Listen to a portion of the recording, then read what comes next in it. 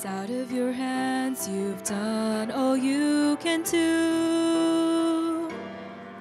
You've given God the problem, it's no longer up to you.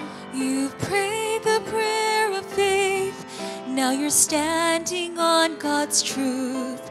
While you're waiting on an answer, He has a question for you. Is anything too hard for God? Who's got a problem beyond His power to solve? Are there situations He's not the master of? Is anything too hard for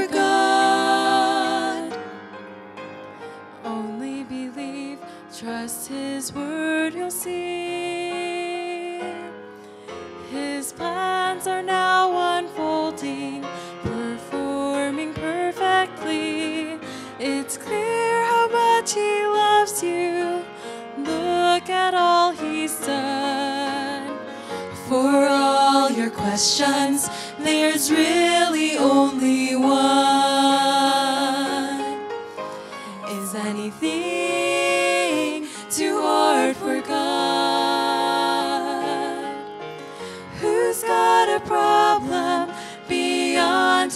Power to solve? Are situations He's not the master of? Is anything too hard for God?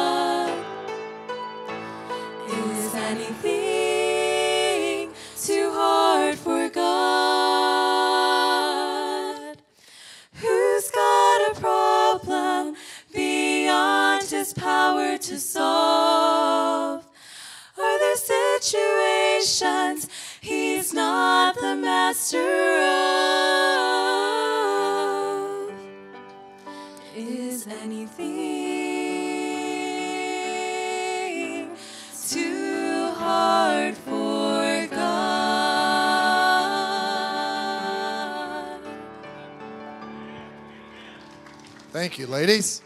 All right, did you? Everybody got the handout here? Well, we're not going to talk about the virtuous man anymore. Okay. Well, thank you for that. That's encouraging.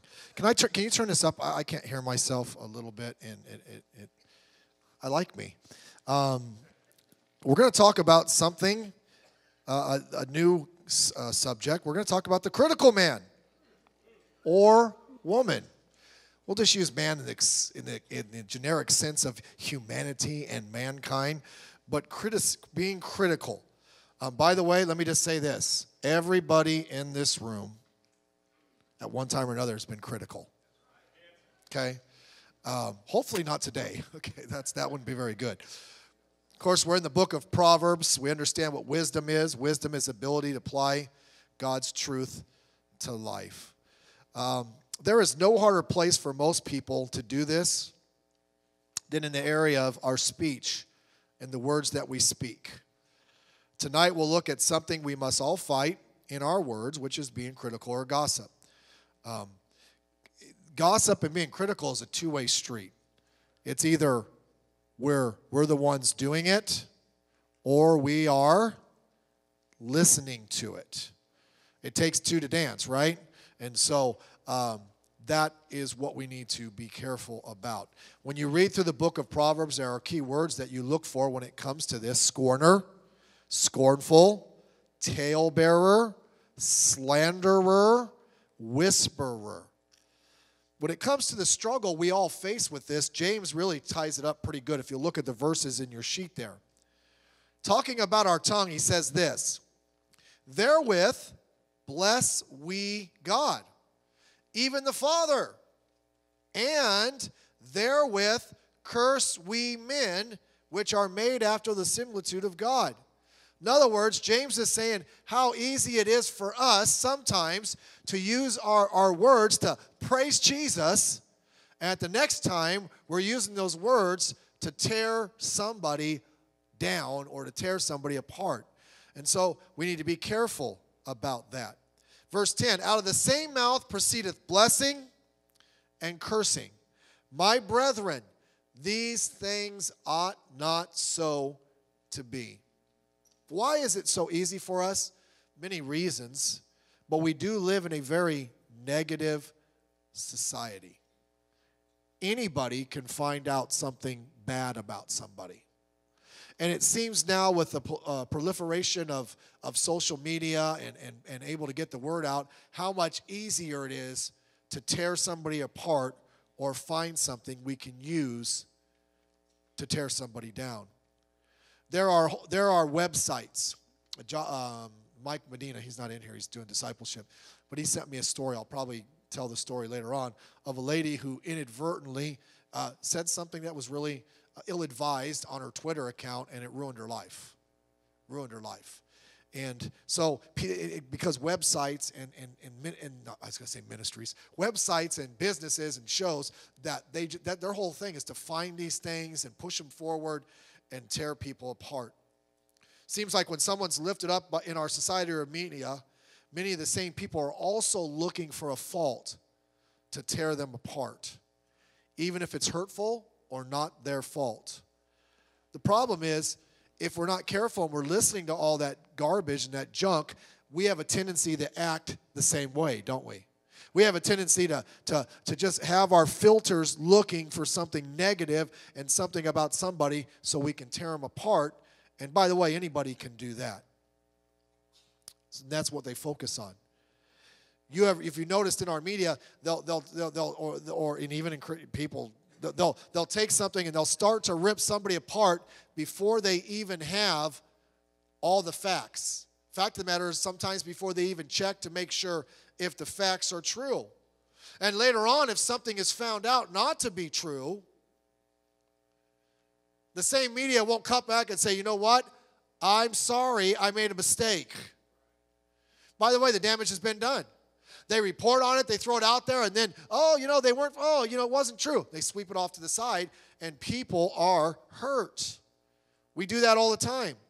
By the way, you got to be very careful, even the things that you watch or you pay attention to. What, what, you know, even documentaries and, and, and on the History Channel or whatever you watch, they'll put it from a, a slant of what they're trying to promote. It's horrible. They call it poetic license. A movie came out in the 80s called The Last Temptation of Christ, and it was a, a huge firestorm when that came out because it portrayed Jesus as someone who had an adulterous relationship with Mary Magdalene. Well, you know that we're just we're, it's just a movie, but they're presenting it as true. Um, he was not the greatest guy in the world. There was a movie recently out about Steve Jobs, the founder of Apple, and they threw a bunch of stuff in there that wasn't true. And the, and the producer said, Well, I know it's not true, but after all, it's just a, a movie. Will you put someone's name in there? People are going to watch that or whatever, but we say things about people, we throw it out there, and people think it is automatically true. And I'm getting somewhere with this. We make up stories to, to tear down people's character. You know, many years ago, I, I remember in the 80s, um, I like hockey. And There was there was a, team in the '80s, the Edmonton Oilers. They were probably probably the best team of all time. And uh, the thing that was unique about them, they were all very young guys, all in their their early to mid 20s. They they won many championships. One year they got upset in the playoffs. Happens. Golden State Warrior fans, that happens, right? And and Sports Illustrated right afterward came out with a story by the way, Wayne Gretzky was on that team and a bunch of other guys. They came out the story saying the reason they lost is because they're all these guys are out of control. They're all doing drugs. They're all doing all this nonsense and all this garbage. Come to find out later, there was not an ounce of truth in the story. But that's how we are. See, we like to hear negative so much. What we do is we try to pounce on something, or, or we hear something we probably shouldn't hear, and we immediately try to spread it without thinking, is this hurting somebody? We'll give you some specifics how to com- combat that in a little bit. We assume things about people uh, uh, based on what we perceive they are. We assume things about people perceived by, by, by what, who we perceive they are or perceive about them, even if it's not true. I don't know if you remember this, but many years ago, uh, there was a, about 10 years ago, there was a firestorm because of the Duke lacrosse team. Anybody remember that story? And they were accused of, of the team now that was accused of raping some lady that was there. And because uh, she was black and they and, and, and she was black and the all, most all, all the players there really on the team were white and they were considered to be rich and privileged because they went to duke the media just ripped them apart. These kids are out of control. And these are bad guys.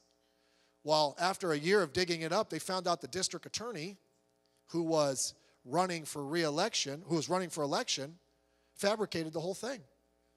This lady she was not mentally stable and they used her as a pawn and not one there was no dna evidence. And it wasn't just one of these things they got away with it to the courts. It wasn't true. It wasn't true. You say well that was, you're, you're giving stories out there. How many times do small stories get spread about somebody? We heard it somewhere we threw it out there we talked about it with somebody how much damage has been done in people's lives because of the words we so idly listen to and we so idly throw out. We got to be careful. It's no better among Christians. We do this in our life. Let me give you a couple things about gossip and we'll get started. I think this is on your paper. Gossip, gossip, and I'll use the word gossip, I'll use the word criticism in the same vein, okay? You understand what I'm saying? Gossip is gossip. Here we go even if it's true. Okay? Well, aren't there times we should say something? Yes, we'll, we'll deal with that. You say it to the appropriate people. It's gossip. Did you know the name? You know what the name Satan means? The word Satan means this: accuser. That's what the name means. The word devil means slanderer. Think of it this way when you slander somebody or you accuse somebody, you are literally taking, doing what Satan's name is. You're literally doing what the devil, the devil accuses us to God. The devil slanders us to God. Um, where's, the, where's proof? The, the book of Zechariah, the book of Job. Okay? Satan had access to God, and he goes up there. And God says, Hey, have you checked out Job? Satan's like, Ah, accused him. That's what he does. Christ, why, as Christians, would we want to be involved in an activity which identifies our eternal evil enemy? We must be careful. There's the verses there in Zechariah chapter 3, verse 1. And he showed me Joshua the high priest standing before the angel of the Lord, and Satan standing at his right hand to resist him. And the Lord said unto Satan, The Lord rebuked thee, O Satan, even the Lord that hath chosen Jerusalem re- rebuked thee. Isn't that not a brand plucked out of the fire? Anybody can find something negative about anybody. And by the way, some of us, I, I, I fight this and, and I'm way better at it, but some of us, our natural tendency is to, to gravitate towards noticing that which is negative. Is there anybody like that? Just be honest. You're not a sinner. You're probably like me, so that makes you a good person. Right? We just, and if we're not careful, we'll, we'll kill our family, we'll kill our wives, we'll kill our children because we don't notice the good. Oh, you know, look, you know, your kid comes home with, with nine A's and one B, and you know what we notice? Why do you have one B? Look, when Robert got his B, his uh, one B, his family rejoiced because all the others were way under that. That wasn't slander or gossip, it was true. Okay? That's, that's just how it is.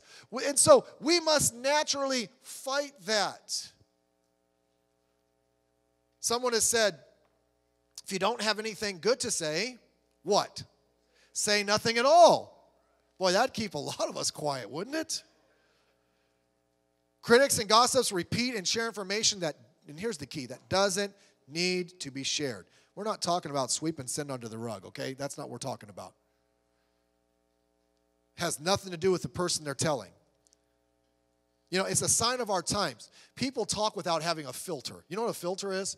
A, a, filter filters out things that like aren't supposed to get through. And some people, their mind doesn't have a filter. And so when they open their mouth, they don't think like, you know, this doesn't need to be said, this shouldn't be said. They just throw it out there. It's like, think that through. That doesn't need to be said. A good, I think this is in your notes, a good definition of gossip is this telling someone who is not a part of the problem or a part of the solution to the problem. They don't need to know. You ever hear someone say that's on a need to know basis? That's true. Everybody doesn't need to know everything about everybody else. By the way, let me ask you this. You don't have to raise your hand. I just like slap my hand. How many, all of us have something about ourselves we wouldn't want some, everybody else to know, right? Well, that's not a big deal. It's just, come on, I, I just got mad, or it wasn't a big deal, just something that I know, but you don't want everybody to know, then let's not do that to everybody else. Critics critique and find things to repeat, even if it's judgmental, untrue, or blown out of proportion. So I, I like this. I heard someone say this. When I want to be critical of someone, and you're allowed, you can do this. I first start by being critical of myself. I always find that I don't have any time left to be critical of the other person. Right? Think about ourselves. Let's put them in the same. So Proverbs has much to say about it, and we'll go over it for a couple weeks. Look at number one. Saying things about another to hurt their character you say, well, I'm not trying to hurt their character. Then just add, that could hurt their character. Saying things about another to hurt their character means you are acting just like a fool. Proverbs 10 18. He that hateth, uh, he that hideth hatred with lying lips, and he that uttereth a slander is a what? fool. Now, let's digress back to the beginning of Proverbs so you understand. I don't think, if I look out as a crowd here, the major, you know, I, am not. I don't think you anybody in here really is a fool. You may be, and you're hiding it pretty well. Okay, you probably wouldn't be here tonight if you were fool. Fool is one who ignores and defies God's principles. But just because we're not a fool, biblically speaking, or biblically defined, does not mean that we cannot sometimes in, act in ways that are foolish, right?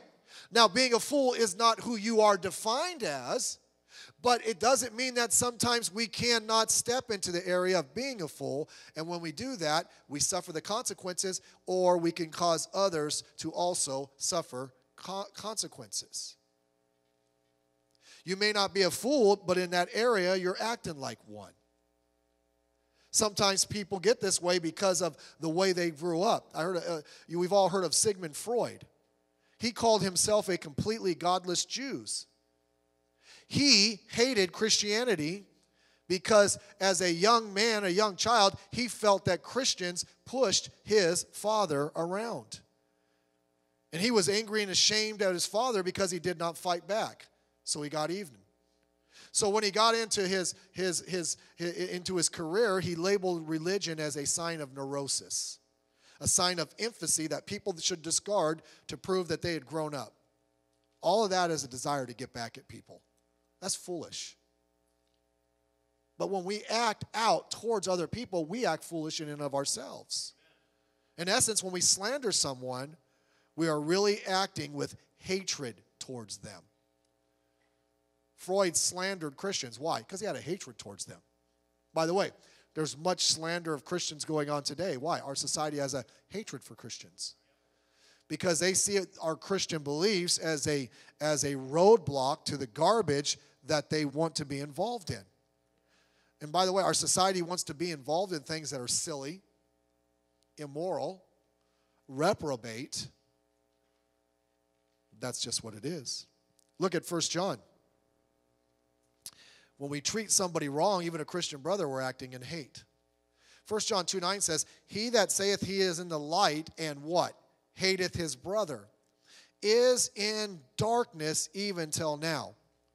I love Jesus. Jesus is the most important thing to me. And you have ill will and hatred in your heart towards somebody. You know what God says? You're not in, you're not in light, you're in darkness. You need to deal with that. I'll tell you why. Because if I have if I have ill will in my heart towards anybody, if I have ill will in my heart towards Alex, and I let that fester and turn to bitterness and hatred, that's not going to just be between me and Alex. That's going to permeate my whole life. Bitterness ruins a person. Hatred ruins a person. And what happens? Now we start acting out towards other people too. We get cynical. Why? Because we haven't dealt with the issue. We're walking in darkness. 1 John 2:11 He that hateth his brother is in darkness and walketh in darkness and knoweth not whether he goeth because that darkness hath blinded his eyes. It, it, it permeates your whole life. It changes the direction of your life. It changes how you live. It changes how you act. Why? Hatred ruins you. Whosoever hateth his brother, this is tough, is a what? Murderer. That's pretty heavy duty. And you know not, and you know that no murderer hath eternal life abiding in him. Kind of hard to hate somebody when you say you love Jesus. In 1 John 4 20, 21, if a man say, I love God and hateth his brother, he is delusional? No. He's having a bad day? No. He is a liar. Now, I'm going to go on a guess here because it's not specific, but I'll just tell you what I think. When it says he's a liar, I don't think it's a liar about the part about hating his brother. I think he's a liar about the part that says he loves God. That's what he's telling us. Can't love God and hate somebody. When you're slandered somebody, you act like a fool, really, you're acting in hatred towards them. And this commandment, I'm sorry, for he that loveth his brother, he that loveth not his brother whom he hath seen, how can he love God whom he hath not seen? And this commandment have we from him that he who loveth God love his brother also. Does that mean that we don't get irritated with each other? Of course we do. Does that mean sometimes we don't be tempted to not be happy with one another? Of course. But relationships are to be repaired and restored and worked on. Okay? We have to be very, very careful about that. But what happens when we hate somebody, we'll talk about them. We'll say all kinds of things about them, even if they're not true. And so we don't want to act foolish. Truthfully, whenever we step that line and we criticize somebody and we're hurtful towards their character, we're acting like a non Christian. It's just not Christian. Number two, a critic is really a hypocrite who seems to be for you while also seeking to hurt you. A critic is really a hypocrite who seems to be for you while also seeking to hurt you. Now, it's one thing, I don't think it's right to say, I don't like you, and I'm going to tell everybody I can I don't like you. Okay, that's wrong, but at least you've been honest to the person, right? I'm not saying you do that, okay? I'm just making a point. But to act like, you know, when you're around them, everything's okay and all that, and then the second you leave them, you're completely different, there's something wrong with that. By the way, if you have ill will towards somebody, what are you supposed to do as Christians? Work it out. Okay? If I have a problem, Brother Montgomery, I'm not supposed to go to Brother TT about it. I'm supposed to go to Brother Montgomery about it. By the way, can you see me after the service? Okay? That's not right. Brother TT's not part of the solution. And if I tell him, Hedgelith? Don't think so. To him. But he's, he, he, if I tell him, he's now becomes part of the problem. So stay out of our business, TT. What they say to you, what they say about you, are two different things.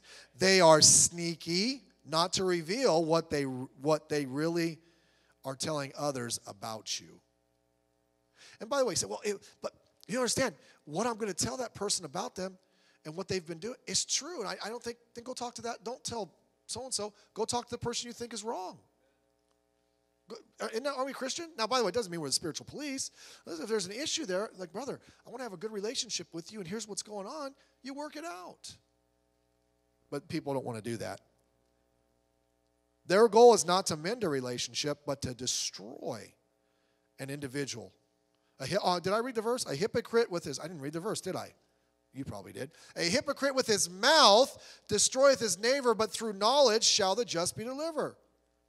Boy, those are destructive terms. You, you, you hear that? Destroyeth. And cause them pain. I don't think we understand how, how our words hurt people. We're so, you know, we're so, we're so just, you know, ugh. with what we say. We hurt people. The hypocrisy is really in the fact that they attack you.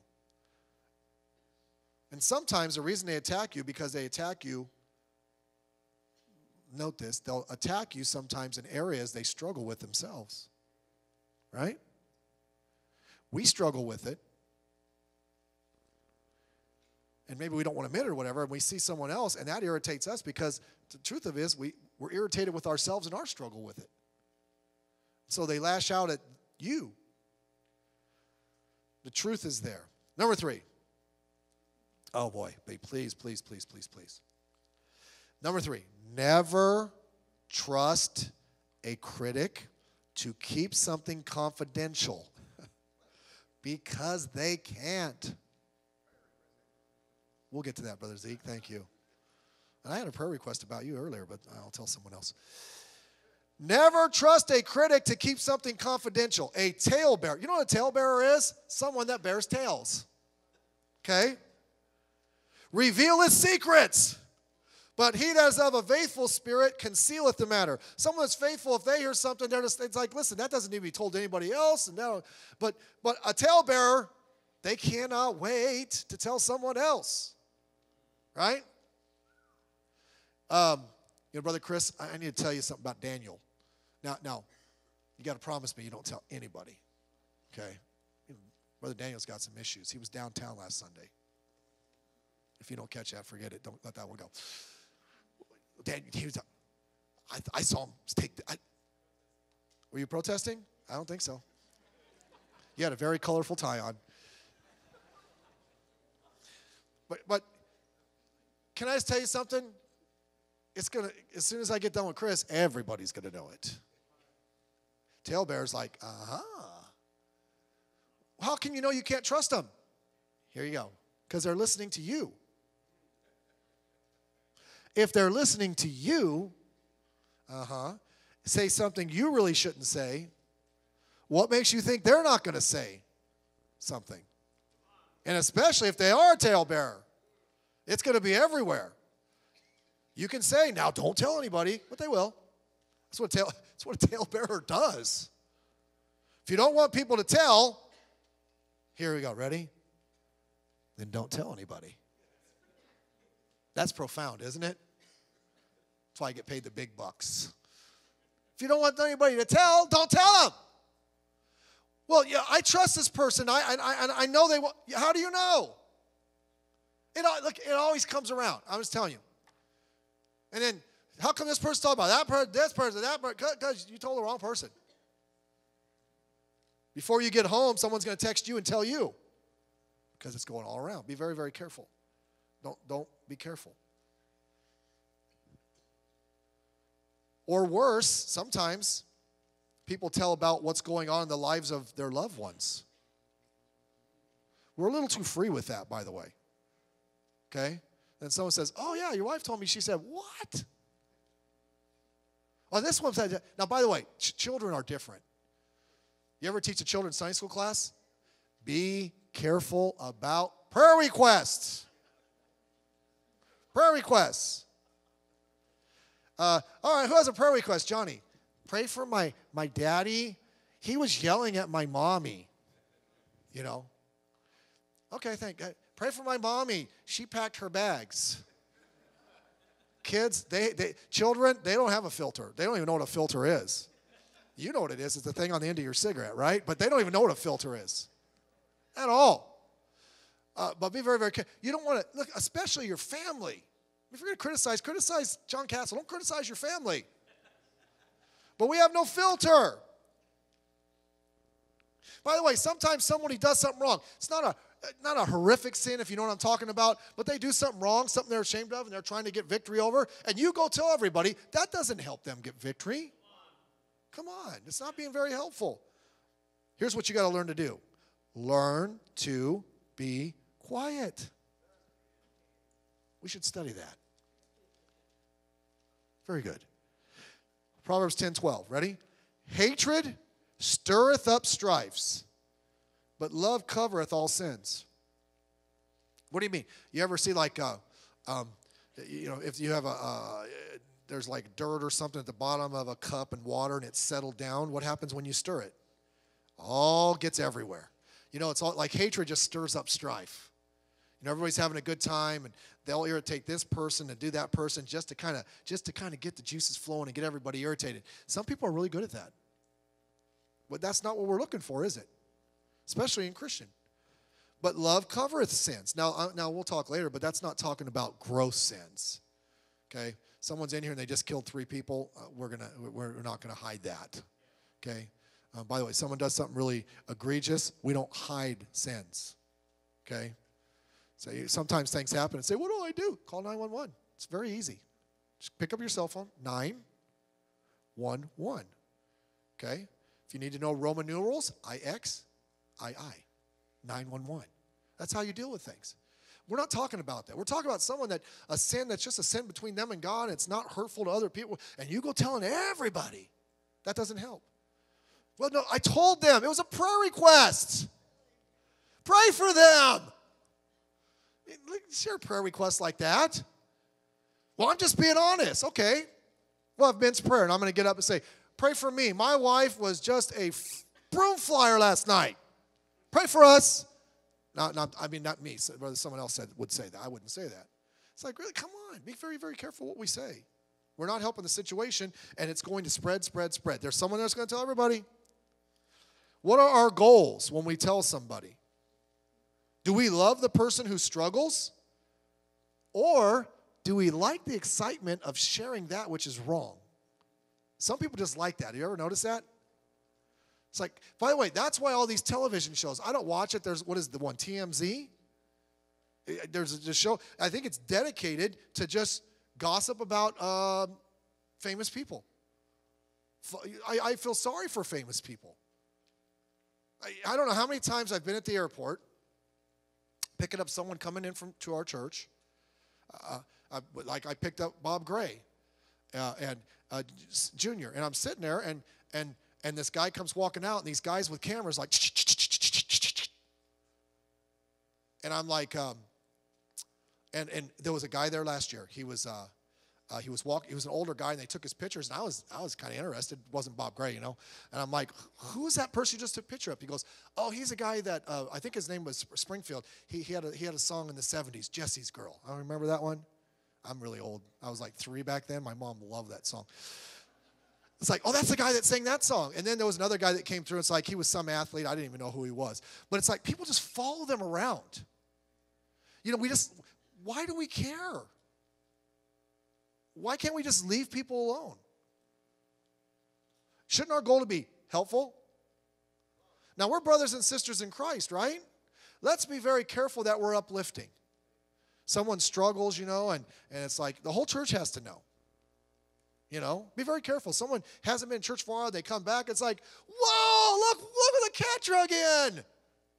Where you been? I called the FBI, they've been looking for you. That doesn't help.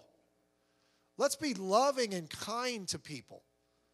And let's watch what we say because what we say damages others, it damages relationships, and it's just very, very hurtful. Okay? We're, we ought to work on encouraging people. And by the way, it's easier to say something negative, amen? I can, I can tell you all kinds of stuff. But let's work on encouraging people. And let's not tell, talk to people about things that have nothing, excuse me, have nothing to do with them, and they're not going to fix it. Let's pray.